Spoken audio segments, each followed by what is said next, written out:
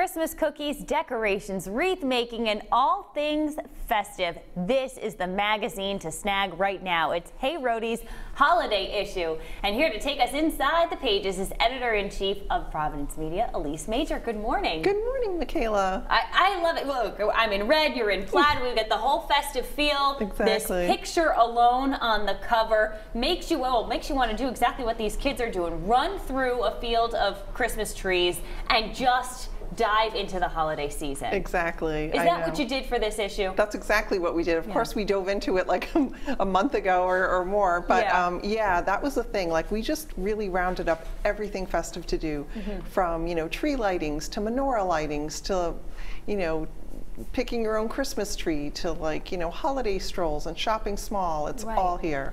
You, it, it is all there. There are a hundred plus festive things to do that you mention in this issue alone. Yes.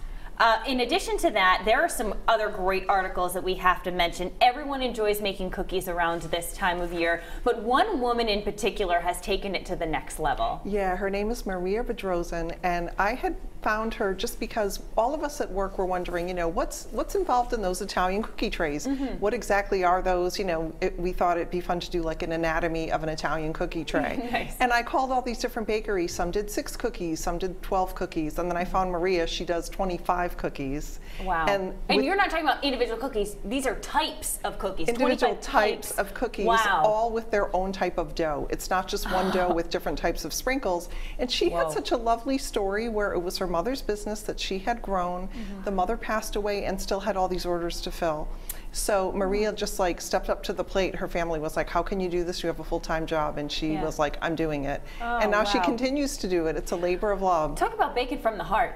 Absolutely. Certainly. Uh, and another couple who has a lot of heart they decorate their home in such a unique way. Tell they us about do. that. So this is um, Angela Zampel. Um, she is the founder of uh, the Craft and Kitsch Marketplace mm -hmm. that is, I think, happening December 8th.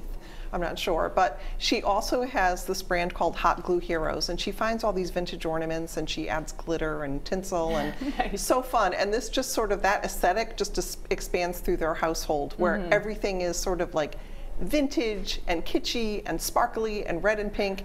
And uh, they actually decorated their house in October for oh us to my. shoot it for the holiday. Wow. And yeah. they probably and then at that point you probably leave it all up. They exactly. took this much effort. Let's just leave all the ornaments where they are. Exactly. Um, another thing that you mentioned is an activity that we can take part in, and that's wreath making. I've yes. never done that before, but it looks easy enough. It right? does look easy enough now that it's been broken down in steps from the people at Blithewold. Mm -hmm. So mm-hmm. that was really great. Um, they had sent us a tutorial and photos, and we put it together in a nice step by step. And it looks like you're really making bunches, mm -hmm. and then you know just sort of um, affixing the bunches onto a wreath form, and then next thing you know, you have this beautiful wreath. Yeah, and those are just some of the many articles and things that you mentioned in this issue. Like you said, you got to start working on this a little earlier on so it can come out at the appropriate time. So were you already playing Christmas music in your own home? Did people think you were nuts when you were starting to put this together? Well, the funny thing is, we do start so early that to me, Christmas is over. Yeah. Oh, you that's know? true. Yeah, you've already like been I'm enjoying done, it. Mm -hmm. You know, so I'm sort of on to the next holiday, and uh,